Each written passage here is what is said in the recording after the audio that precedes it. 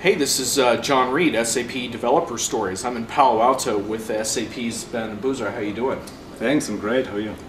Good. Uh, so, Ben is part of an internal group at SAP called, internally called App House, which is just an internal name, not not a publicly official name. Correct. Um, but what's more interesting is the work you're doing. Startup culture at SAP. That that's quite a mouthful. what does that mean? Yeah, true. So uh, actually, about a year ago, our group um, was uh, trying to understand how we can leverage what we've learned already in the past years at SAP around design thinking, and uh, can apply that to a whole new unit that is working in yes a startup style. And startup style meaning, um, you know, we are not living in uh, the SAP offices. Yeah, so uh, we are we have a whole separate space that really looks like your next door startup. uh, we have flexible um, tables, we have whiteboards everywhere, we have some fun stuff, you know, it's pretty colorful, we have I nice saw a couches. picture of your, yeah. your office and yeah. it literally looked like an internet cafe or something. We'll yeah, share a picture. it's actually an office, you know. Yeah. so it's a lot built around collaboration. I mean, the thing that we want to embrace is really the diversity of the team and uh, to have the people communicate. Because uh, the key part of our initiative is that we need to iterate fast and we need to talk to each other.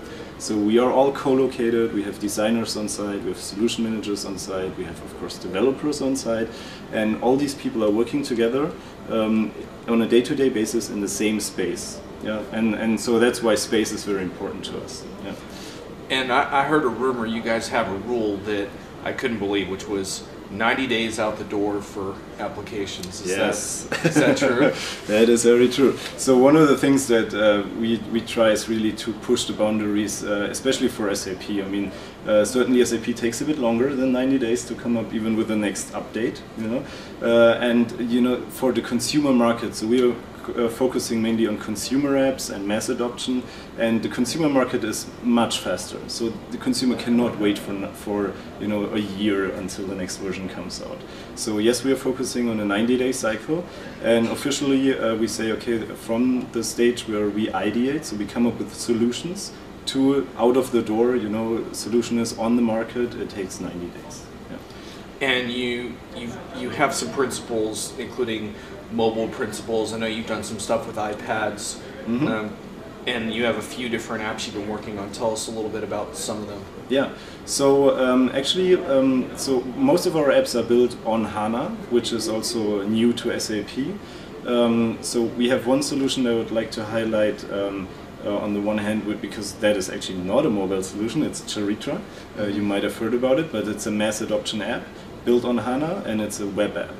And then another app that we just released to market about um, three to four weeks ago uh, is an iOS app. It's called Recalls Plus, and uh, it's for the busy parent uh, that would like to track their children products and then get alerted if whenever you get um, whenever there's a recall for your products. So it's pretty much you know for the safety of the parent.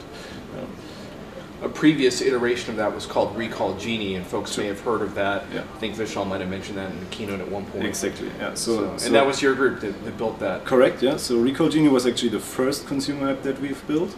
Um, and then sort of the 2.0 iteration of that is now called Recalls Plus. And technology wise, so we focused, uh, the first iteration was focused on the River platform. And now the second iteration we are building on HANA in the cloud. Yeah, which is uh, a, a different aspect. Um, yeah, and, and we are, we've been pretty much the first ones, uh, especially for consumer apps, uh, that did, who did that. Yeah. And you've also talked about that consumer app design can help you with the enterprise. So then you then you are building apps that are more enterprise focused. Tell us about a couple of those. Mhm. Yeah, so uh, we are working on some specific apps um, that are targeting, I want to say, almost around analytics, but it's it's going to be analytics for, let's say, the, the middle management layer. And um, we learned that some of the things that we know from the consumer space are just in, in, in the today's world, you know, are given to uh, to us as end users. So I might be today, you know, I might be using my my iPhone uh, to browse uh, the web or uh, any other mobile device to do so, to execute some apps. And I'm so used to this, you know, interaction that I don't want to go to the office on the next day and have a completely different user experience. So we, we take some of that learning back to the actual SAP applications and build uh, apps around, um, you know, budget reporting, um, commissions checks for salespeople. We have an app uh, that shows you uh, in a very nice way on an iPad. You can skip through your uh, customer information as a salesperson and drill in uh, to some specific information. So when you're on site on the location of the customer, you can really grasp easily all the important pieces of information on your iPad. So do you honestly think that building consumer apps has made you a better enterprise apps builder? Um, I think if you look at the learnings, it's it's just something you cannot get around anymore. So uh, there is no way that we as SAP can neglect the fact that there is a consumer space out there and there's a heavy impact on the enterprise. Mm. Some people talk about bring the Sunday evening experience to the Monday morning, and I think that's kind of like uh, where our group fits in very well because that's that's what we can do out, based on the learnings that we now have.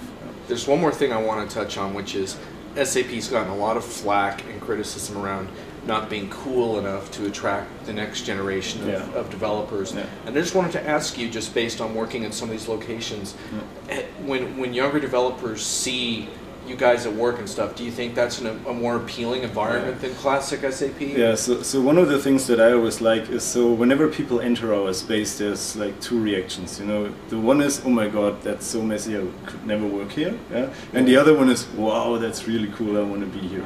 And you can see, I mean, and, and actually we want to we want to attract the second kind. You know, we want to attract the person that can deal with all that uncertainty because that's just the way it is today. You know, and um, and I have to say, uh, if you look at our team, we are a very young team, and uh, whenever I talk to young people, you know, maybe people that are interested in our team or potential intern candidates, they always they, they always come in and say, well, I really want to work here.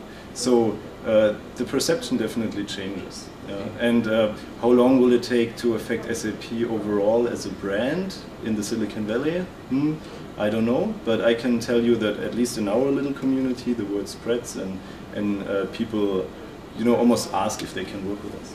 So it also sounds like a lot of blurring of the lines too between different roles because developers kind of have to learn to present their ideas mm, exactly. and, and, and kind of make a business case yeah. based on the roles and the customers they're trying to satisfy, and yeah. those ideas can maybe get shot down or yeah. changed, or yeah. you know, and then you have to go back a little bit. You told me before on some things you guys have had to go back a little when you realized that you had missed something important. Definitely, so interesting challenges for a developer that might be thinking about I just want to code. Yeah, exactly, and that's actually really cool because now so now what happens is you as a developer you go you present your you know finished code what you think is finished and, and good enough and you present it to designers, you know, to uh, to visual designers, UX designers, and, and all other people that are part of your community, as well as other developers, and you get all the input. And then you're like, hmm, okay, so there is a couple of things that I really need to work on before we can release it to market. And only if the group is happy, you can release it, mm. which is a different dynamic. You know, you don't just check off your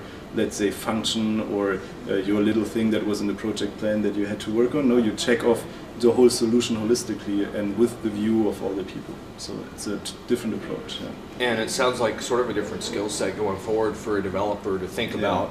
Uh, if you're going to participate in these environments, you're going to need a little bit of a different set of skills. It won't just be about being able to crank out the best code. Exactly. Though good code probably still does matter. It does uh, certainly matter, and and I have to say, uh, and that's also interesting. I mean.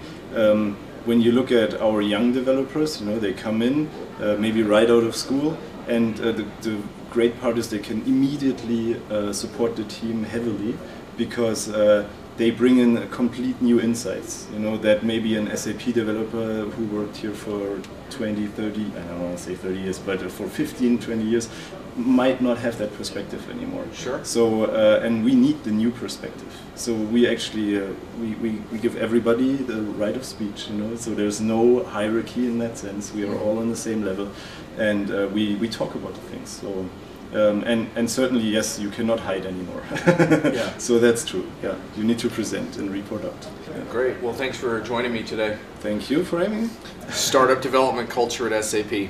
There you go. Thank you.